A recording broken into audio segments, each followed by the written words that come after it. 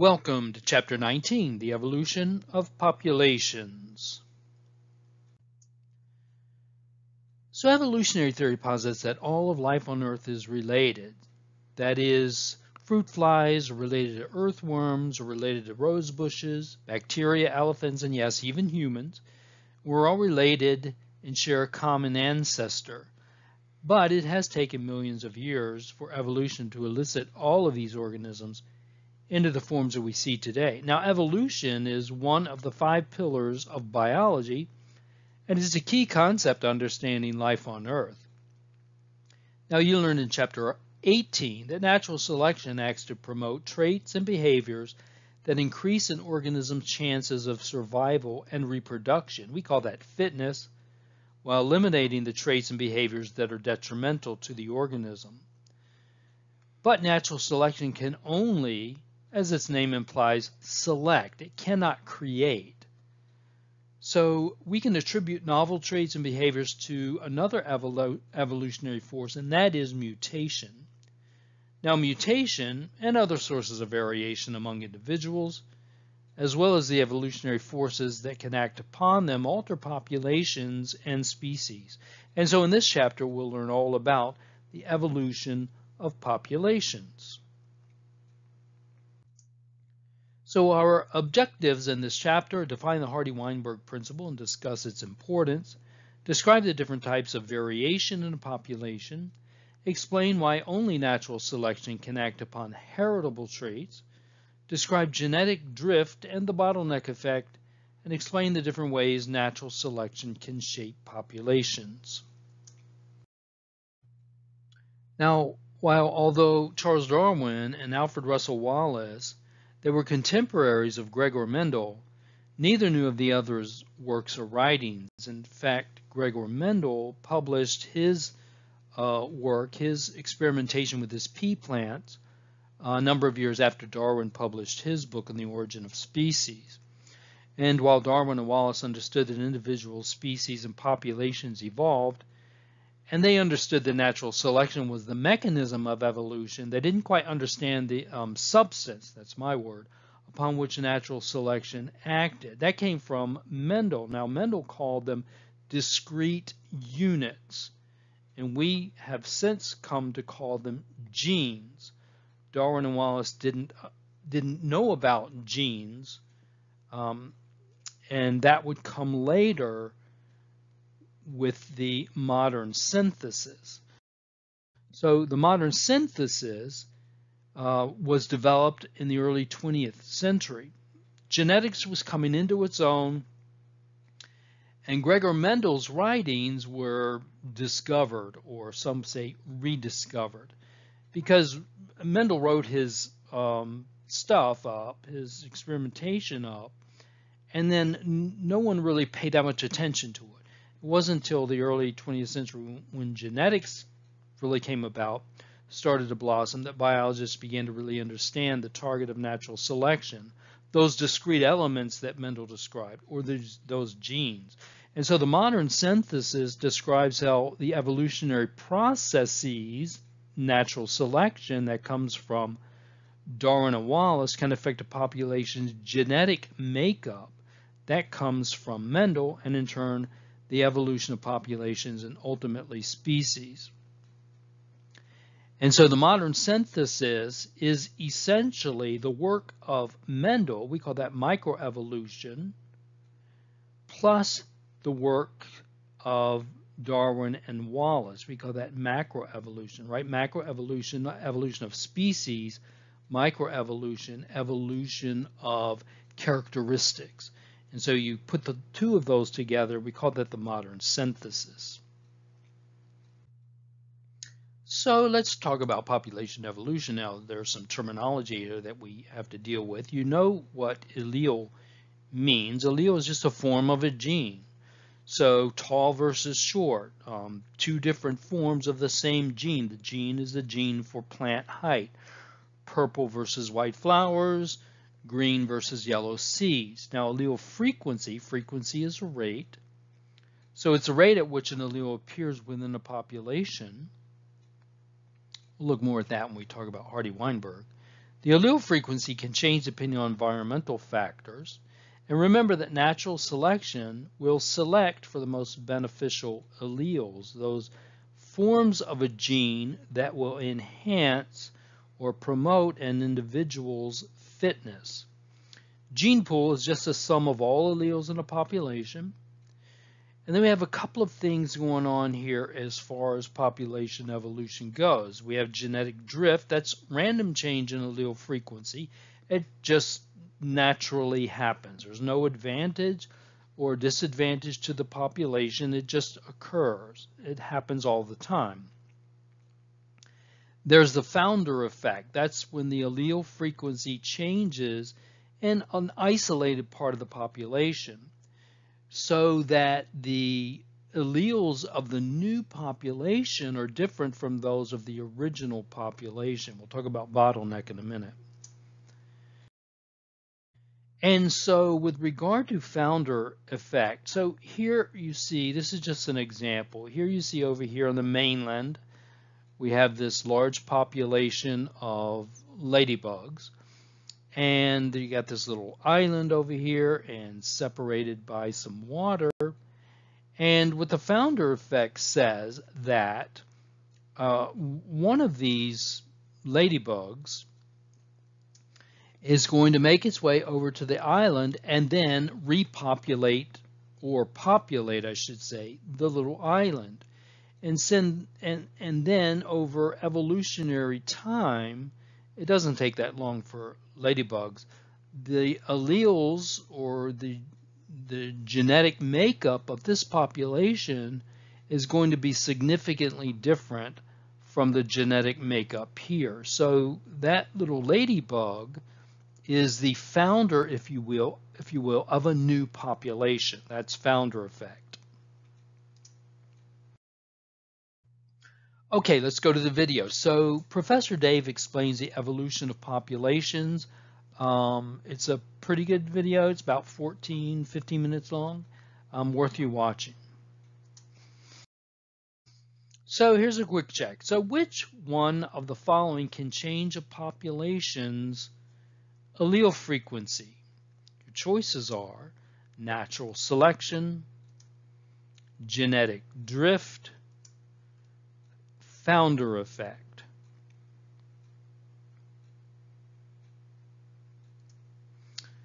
And the truth is all of those are correct.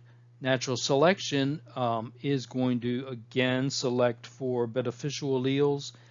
So definitely the allele composition of a population is going to change. We talked about genetic drift, obviously, although it changes allele frequency or the types of alleles that are in the population. There's no benefit one way or the other to genetic drift, but it does change the allele frequency. And of course, founder effect is as a member from one population goes to another location and founds a new population, then that population's alleles are going to be significantly different from the original population.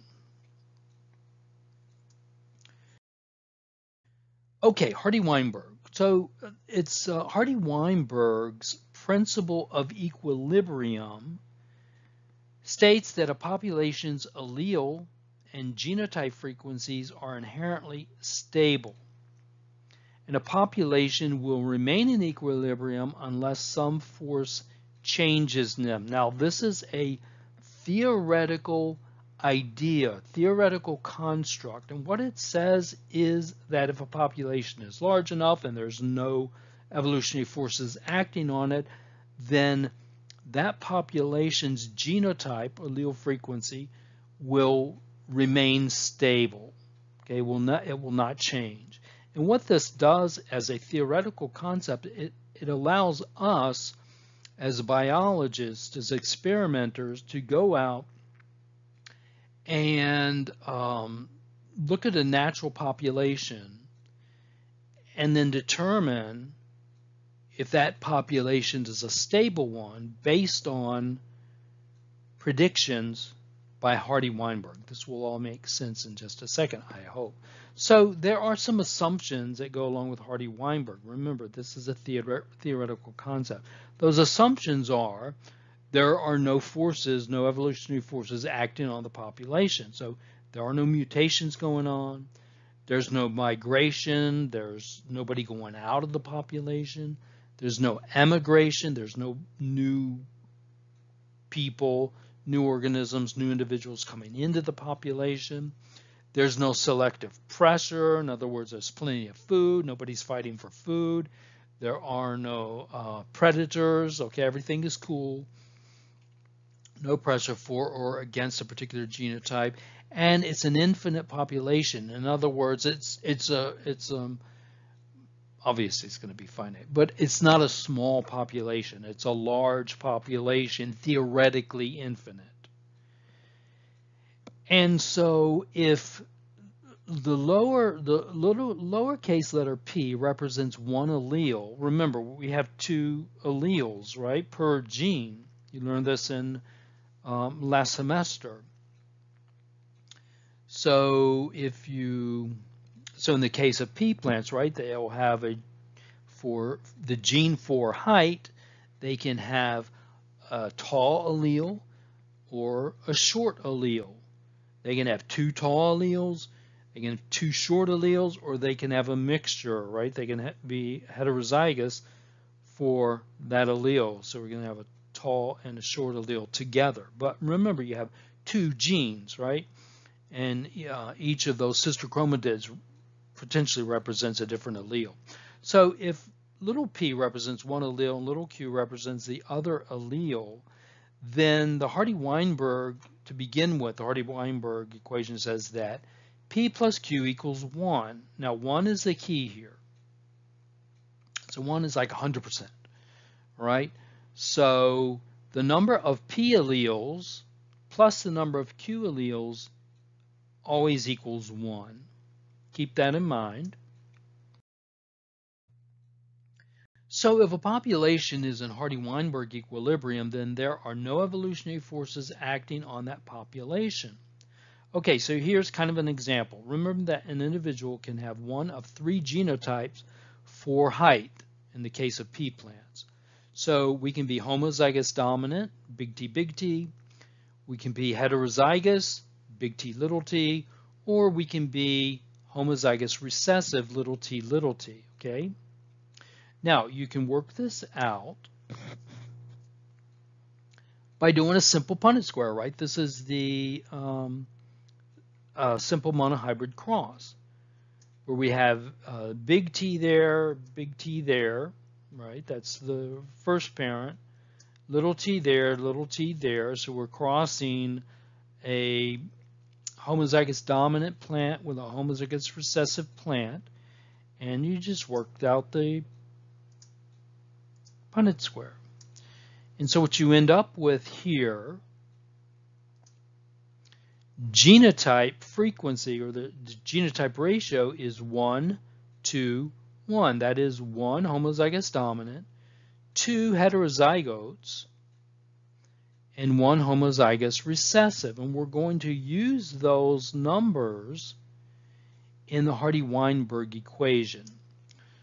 And if we think about Hardy-Weinberg, the, the equation is P plus 2PQ plus Q squared equals 1. All right, so if we, we plug these um, alleles in, and we get big T squared plus 2 big T times little t plus little t squared. And again, Hardy-Weinberg says all of that has to be equal to 1. Now we're doing this with these particular alleles here, but Hardy-Weinberg is a generic equation, and so we can look at it this way, right? Because if, if P equals big T and Q equals little t, then p squared plus 2 times p times q plus q squared equals 1. You want to remember this equation because you're going to be doing some uh, Hardy-Weinberg um, problems or um, calculations, I hate to use that word because I know math scares a lot of people, but you want to remember this equation. It's very important. That's the Hardy-Weinberg equilibrium equation, okay?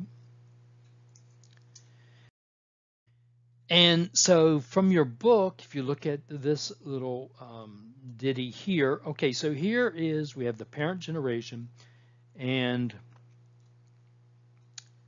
we have the phenotypes. Here is the uh, yellow pea, homozygous dominant. The phenotype is the yellow seed color. Uh, heterozygous, obviously the seed color is yellow. And here is the homozygous recessive, seed color is green. So the phenotypes are yellow seeds, yellow seeds, and green seeds. Now, the genotype frequency, we do the little um, experimentation. We examine the population. By the way, the population number of individuals is 500. All right, so we examine the population and we determine the genotype frequency is 0.49 or 49 percent are homozygous dominant, 42%, or 0.42 is the frequency, or 42% is um, heterozygous, and 0.09 or 9% is homozygous recessive. Now, we want to get numbers that we can plug into the Hardy-Weinberg equation. In order to do that, we have to determine how many of the 500 individuals is homozygous dominant. Because remember, Hardy-Weinberg, we're not looking at, initially, we're not looking at phenotype, we're looking at genotype. So how many of the 500 should we expect to be homozygous dominant?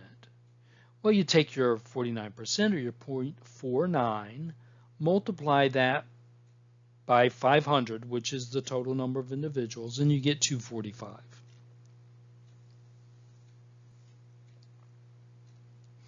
Now, there are two big Y alleles here. So we have to multiply this number by 2. Okay, so we're trying to determine how, how many of these big Y alleles there are in the population. So you take this number, after you calculate this number, multiply it by 2, and you get 490. Now, we, we're looking at the big the big allele, the big Y allele here. Okay, so how many of the 500 are heterozygous. So we take 500, multiply it by 42, uh, 0.42, and we get 210. Now here's the thing. There are 210 big Y alleles and 210 little y alleles, right? And so if we're determining P over here, the allelic frequency, we want to know how many we're trying to determine how many big Y's there are in the population, we have to take the number of big Y's over here, which is 210, add it to the number of big Y's that we got over here, and we get 700. We do the same thing on this side. All right, so to determine the homozygous recessive is 0.09 or 9%. 0.09 times 500 gives us 45. And there are two little y alleles, so it's 40, 45 times 2, that gives us 90. But remember we had 210 little y's from the heterozygotes, so we have to add those together. So all of the little alleles in the population, 300.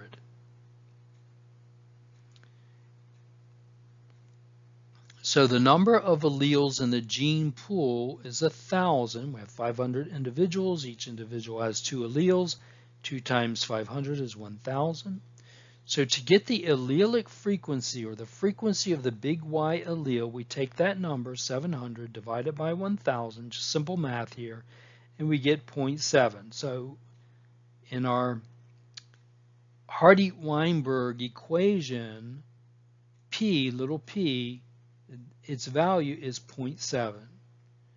And we do the same thing over here.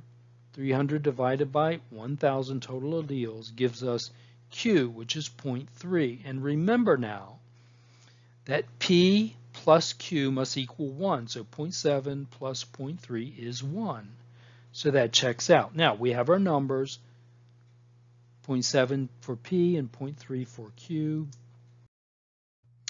Now on this side, um, again from your text, we're just, says Hardy-Weinberg analysis, we're just checking ourselves, really putting everything together and so you determine that the value of P was 0.7, the value of Q was 0.3. If you do a little Punnett square and do the cross multiplication, you can see that P squared, okay, 0.7 times 0.7 is 0.49 and 0.3 times 0.3 is 0.09 and 0.7 times 0.3 is 0.21. So we have 2 times 21 here, right? 2pq down here. And so the predicted frequency of offspring in the second generation that are homozygous dominant for Y is 0.49. Predicted frequency of in the second generation um, F1 generation, first filial generation, is 0.42. The predicted frequency of the homozygous recessive in the F1 generation is 0.09. If you add these numbers up, to, all of these numbers up together, they equal 1. Okay.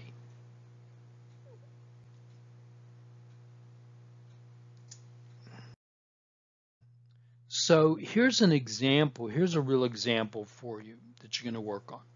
So in plants, violet flower color, we're going to call that that allele capital V is dominant over white flower color. We're going to call that lowercase v. So if P equals 0.8 and Q equals 0.2, remember this is the frequency of big V and this is the frequency of little v in a population of 500 plants, how many individuals would you expect to be homozygous dominant, big V, big V, heterozygous, big V, little v, and homozygous recessive, little v, little v. And then the follow-up question is how many plants would you expect to have violet flowers and how many would have white flowers?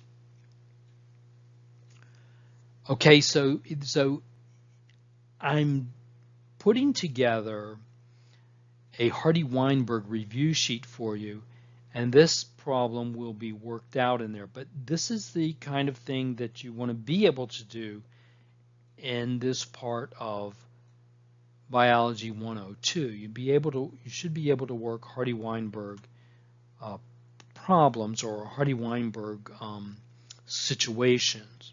So the deal here is, okay, so the deal here is I've given you the frequencies of the alleles, and I just want you to tell me what the frequency of big V, big V, big V little v, and little v little v are a population of 500 plants. And then from that, you should be able to tell me how many flowers out of 500 have purple, or how many plants out of 500 have purple flowers, and how many have white flowers, okay?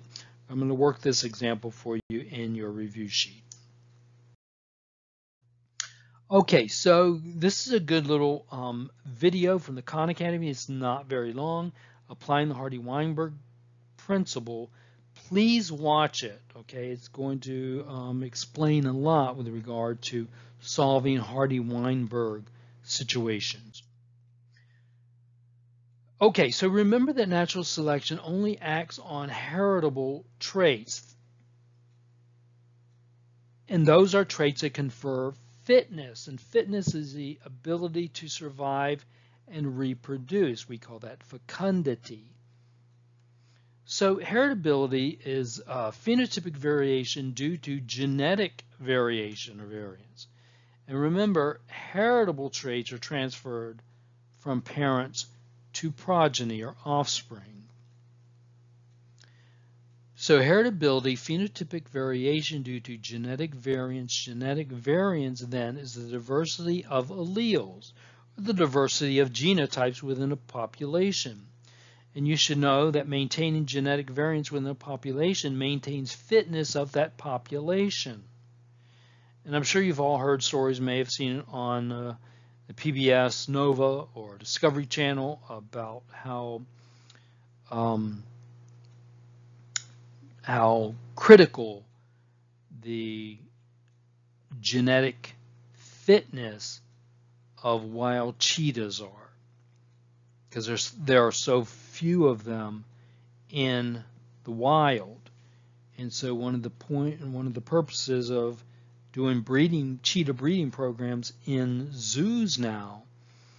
And what they do is they fly cheetahs around all around the world so that they can maintain genetic variation. Inbreeding is a mating, mating of closely related individuals. And what happens is as in as individuals breed with relatives, undesirable um, deleterious and recessive mutations can then come to the surface and cause physical abnormalities, cause susceptibility to disease, and that's what they're trying to uh, eliminate or certainly reduce with the cheetah breeding programs.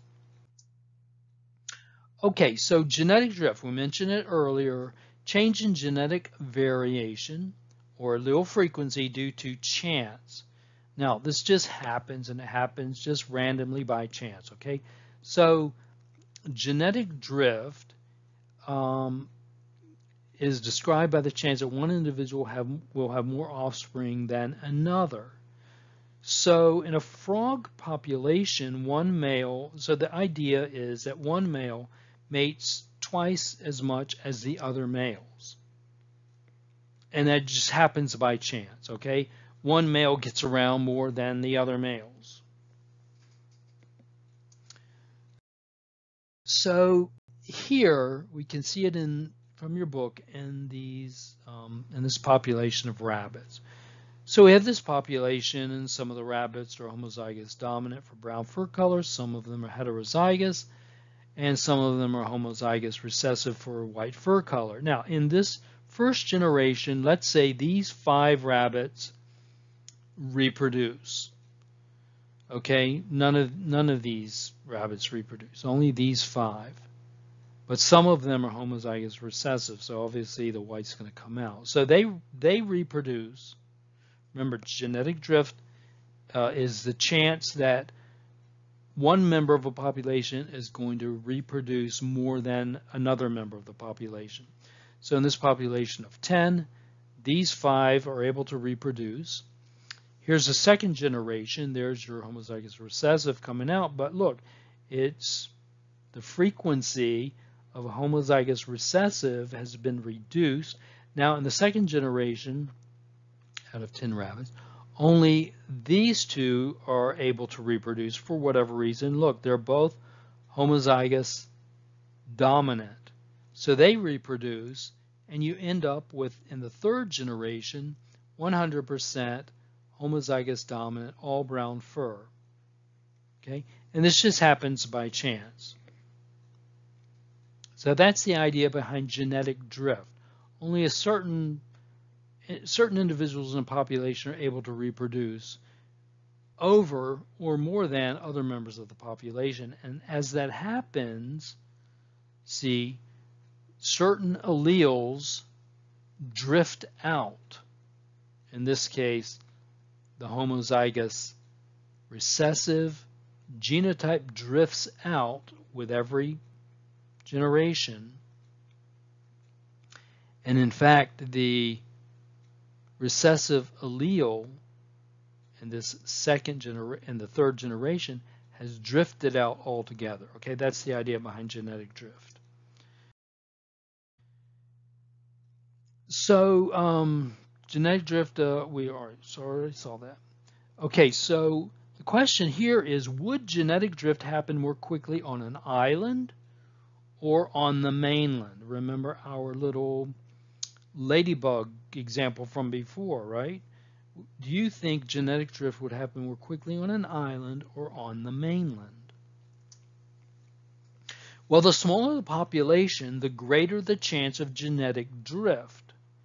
And so if you have an infinite population on the mainland, potentially, then genetic drift, um, the strength of genetic drift is going to be negligible versus if you have only five individuals on an island, then genetic drift is going to happen a lot. So the smaller the population, the greater the chance of genetic drift. And remember, with Hardy-Weinberg, Hardy-Weinberg assumes an infinite population. So the bottleneck effect is magnification of genetic drift. It can be as a result of natural disasters, catastrophes. It involves a sudden and drastic reduction of a population's genetic variance. And, and so here is uh, the illustration that everybody uses for the bottleneck effect using, well, what else? Bottles. So here's the uh, original population, and each one of these is a genotype or an allele, the original population, if you turned it up, all of these marbles cannot go through the neck of this, the narrow neck of this bottle together, only a few at a time. And so you end up, and so we call that the bottleneck event. So you end up with just a few, comparatively, a few alleles in the surviving population versus the original population. So, so the point here is some drastic event has occurred and wiped out the original population with only a few, a handful of survivors. Now those survivors are going to obviously start reproducing and rebuild the population, but the genotype or the allele frequency or the genetic makeup of this new population is significantly different from the original population because the types of alleles are significantly different in the surviving population.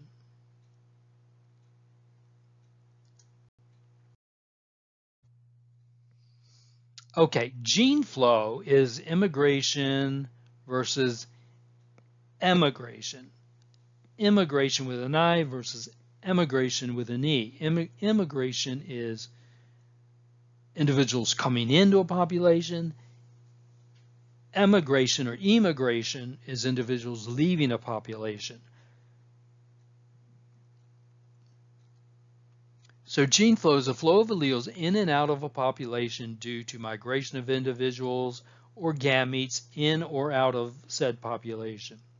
So an example here is young male lions leaving the pride to search out a new pride with unrelated females.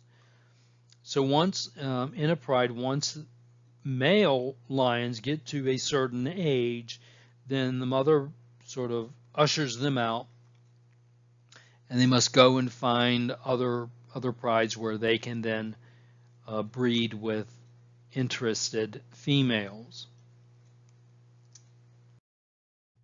And so here is our little uh, ladybug example again. We're talking about gene flow. So we have population over here, population over there, obviously. And so gene flow says that some individual from this population is going to migrate to another population and start breeding with this population. So this individual that migrates over is going to bring new new gametes, new alleles into this population. Once, once this guy starts breeding, then the genetic makeup or the allele frequency is going to change. That's gene flow. Okay, mutation. Um, you're familiar with mutation already. That's change to an organism's DNA. It's uh, important to population diversity. And in fact, evolution depends on accumulated mutations in order to do its thing, right? Um, natural selection chooses beneficial mutations. So mutation is the most common way to introduce novel genotypic and phenotypic variation. And remember that harmful or unfavorable mutations are eliminated from the population by natural selection, and mutations that increase a population's fitness quickly spread through the population. So other forces, natural forces that can affect a population's genetic makeup or allelic frequency, non-random mating. This is mating between individuals through selection or non-chance mating. So Hardy-Weinberg assumes random mating. In non-random mating, mating occurs through selection. Selection can be, for instance, through sexual selection, we'll talk about that later, or sexual dimorphism. What is sexual dimorphism? That's a difference between either a behavioral difference or phenotypic difference between males and females of a species. Now, this is the obvious one. Male uh, peacocks have this big giant fan, beautiful fan of tail feathers. Female peacocks or peahens do not have that big fan. So there's a, a phenotypic difference there. Call that sexual dimorphism. And here we see a little frog uh, looks like a green tree frog, and it's chirping or croaking. Uh, what they do is they fill this pocket under their chin with air, and they blow the air out, and it makes the, the chirp or the peep or the croak. Only males do this. Only males call. And so that's another difference, another example of sexual dimorphism. Oh, and so with regard to non-man, non-random mating, what, what happens is females in frog populations, females choose males. And what females will choose are males that seem to be more fit or more able to survive and reproduce. And in the case of frogs and toads, males with the loudest call get chosen first by females because a loud call or a very deep call for toads um, sends the signal to the females that that male is stronger, is more fit, is more able to, to survive and ultimately reproduce. Obviously, in the case of peacocks, uh, the larger and the more beautiful the fan of tail feathers, um, that is a sign of fitness, right? A, a, a sign of survivability and fecundity. Now, there are also environmental factors that can play into um, fitness or play into phenotypic variation. So Environmental variance is when environmental factors affect phenotypic variance. Now, I show you this little crocodilian over here, little alligator. And what happens with crocodiles, crocodilians, and some of the reptiles is temperature, incubation temperature affects gender. So the um, the warmer the temperature, uh, the warmer the incubation temperature, the more males will be produced. The cooler the temperature, the more females we will, will be produced. In the case of turtles, in the case of most turtles, actually the cooler the temperature, the incubation temperature, the more males are produced, and the warmer, the more females. It's opposite that of crocodilians and um, some lizards. So that's where environment temperature, incubation temperature affects the outcome of phenotype. And a cline here represents a geographic represents geographic variation across ecological gradient. I've shown you two different examples of humans, same species, Homo sapiens sapiens. Now here in sub-Saharan Africa, the typical male is um, tall and very thin, and what that allows that um, phenotype to do is to radiate heat away from the body. In sub-Saharan Africa, it's very hot, so these these individuals do not need to retain heat. So the taller they are and the thinner they are, the easier they are, the easier it will be for them to radiate heat. In the case of this Inuit over here, the typical Inuit is short and stocky, short and stout, like the teapot, right? Short and stocky, and they have um, um,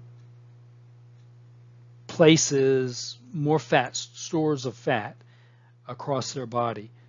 Fat is insulation. And so you see short and stout, that retains heat, and lots of fat, that insulates the body. So you can see a cline or um, phenotypic gradient across geography.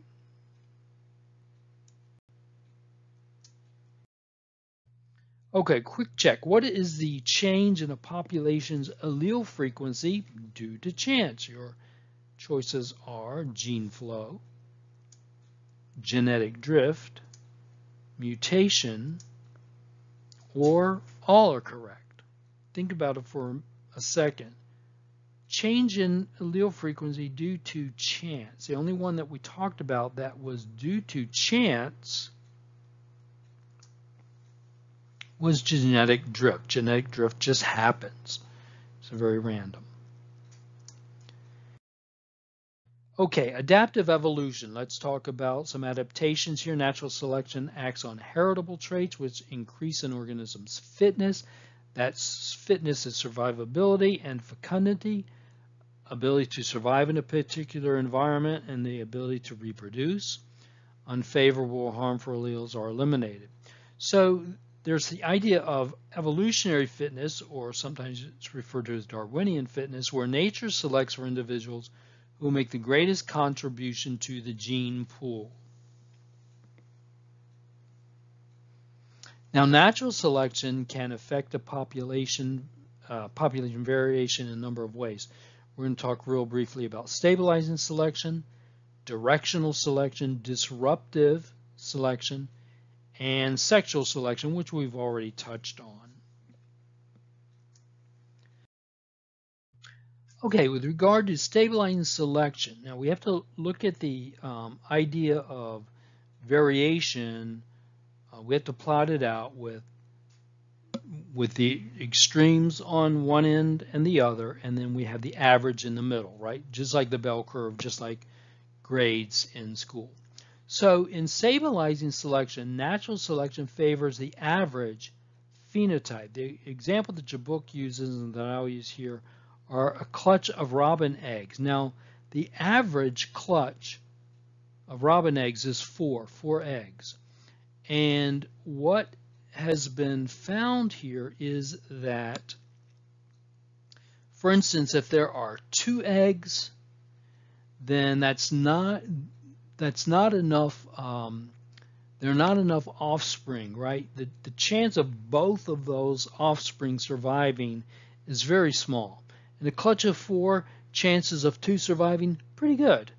But in, in, the, in the case of two eggs, the chance of both surviving, not very good. And the idea here is that, that natural, that organisms want to produce and have survive as many of their offspring as possible. So in a clutch of four, maybe three will survive, maybe they all will, but often one or a couple are lost. So there's more of a chance of 50% of these offspring surviving That's the average. So in stabilizing selection, natural selection favors the average phenotype, which is four eggs. Over here, you might have two eggs. Not very good for survival if if 50% of the if if on average 50% are lost. And over here you might have six eggs or eight eggs, right? And what happens there is uh, the nest is overpopulated. The mother can't uh, afford to feed all of these babies. And so uh, most of them are not going to get fed and most of them are going to die. So natural selection has favored four eggs for a clutch for a, a robin favors the average phenotype versus directional selection. So we're, here we have the extremes. On one end you have the, the very dark moth, one end you have the very light colored moth. So natural selection favors a phenotype on one end of the spectrum, right? And the example here is the peppered moth. Back in the, when the Industrial Revolution started, over in the old country in England, the plants, the industry was pumping out so much carbon, so much soot, that the soot covered the trees in the forest. And the natural color um, of these peppered moths was this white, that's why we call them peppered, right? This, um, these white peppered with these little dark specks, speckled. Now, as the trees get covered with soot, they turn dark and as you might imagine, it would be easy for the main predator of these moths, which are birds, to pluck these guys off of those trunks, right? They're easy to see. So directional selection then selected for the darker colored moths because now if you're a dark colored moth, you blend in with the bark and birds are less likely to see you versus your cousin over here who is still light colored and speckled, then the bird is going to come along and pluck that one off. So directional selection favors one end of the spectrum. So the original population is the speckled moth or the peppered moth. And after natural selection, the selection here is the dark colored moth because they are the survivors. So that's directional selection, natural selection of one end of the spectrum or the other, depending on your environmental factors. We have disruptive selection. Now here's a sockeye salmon. Your, your book uses um, a hypothetical example of rabbits, but here's a real example of sockeye salmon. Disruptive selection natural selection favors the extreme. So before where we saw the extreme peppered moth and the extreme on the other extreme the dark colored moth, directional selection favored the dark colored moth with regard to the, the soot covered trees. Here, natural selection is favoring the extreme and um, is not favoring the average phenotype here. Okay, so in sockeye salmon, here we have these big guys here. Um, this is the average phenotype. This is the average sized sockeye salmon. In the normal situation, average size, these guys, uh, right, the population wants to stabilize. There's your bell curve. Population wants to stabilize, and so the average sock sized sockeye salmon is selected for. Uh, the average size individual is selected for. And sockeye salmon, though, remember salmon are the fish that swim upstream to um, reproduce. These males are going to fertilize eggs upstream. Okay, so, but in disruptive selection, selection is not going to favor the average size guy, but it's going to favor, first of all, the large phenotype. The large phenotype can can get through, can knock these guys out of the way. These guys cannot compete for mates with these large sockeye salmon. So the large guys are going to get in there. So here we see, you can see it's dark, more darkly covered. So this is population after selection, favoring one extreme. But interestingly, if you're smaller than average, these guys cannot compete with the large guys, but these small guys can slip in kind of under the radar and they can fertilize eggs along with the large guys. And as far as the eggs go, they don't care whose sperm they get. They just want to be fertilized, right? Um, external fertilization is what fish do. So females lay the eggs, uh, the males squirt the sperm into the water, the sperm swim to the eggs, and fertilization occurs that way, externally. So while these guys are fertilizing eggs, over these guys, these guys were able to slip in again under the radar and release their sperm and fertilize eggs along with the large guys. So these guys have more of a selective advantage than the medium-sized guys, than the average phenotype. And so this is natural selection over the median, natural selection of the extremes. The big guys and the little guys get selected for here in disruptive selection. So it, it disrupts it disrupts the norm. The norm is this medium-sized guy. The norm is the bell curve. Disruptive selection throws all of that out of the water, if you will, and selects for the large and the small. And then we have sexual selection, which I've already mentioned. Sexual selection. Um, here are mountain gorillas. You can see, first of all, the sexual dimorphism. Here's the big silverback male. Here's the female. The male is obviously, obviously much larger than the female. But, okay, so that's sexual dimorphism, but with regard to sexual selection, this this guy, the bigger this guy is in the harem, or uh, in the tribe of mountain gorillas, if he's bigger than all of the other males, guess what? He gets to mate first. Just because he's bigger, just because of his size, right? And so with regard to sexual selection, the eh, with mountain gorillas, the bigger the male, the more he gets to reproduce. And so natural selection here favors one gender over the other. So favors the big the biggest male over the others. And we've already talked about selection of the prettiest uh, tail feathers or the male with the prettiest, largest tail fan and the frog with the loudest, deepest call.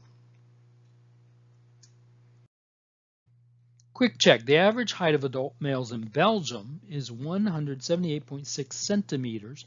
That's about 5 feet 10 and a half inches. This is, is an example of which type of selection. Choices are sexual selection, disruptive selection, directional selection, or stabilizing selection. Average height of adult male. So at first you might think, because it says males, that we're dealing with sexual selection.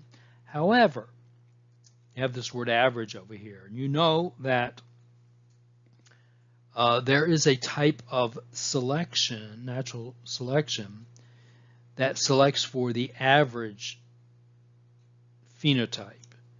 And that's going to be stabilizing selection. Okay. The last video here is from Teacher's Pet. It's types of natural selection. It talks very briefly. It's only like two and a half minutes long. Um, talks about disruptive selection, stabilizing selection. Um, and it's worth you watching. Only a couple minutes long. Preguntas, um, let me know. Message me, email me, use the inbox, Canvas inbox. Thank you. This is the end of chapter 19.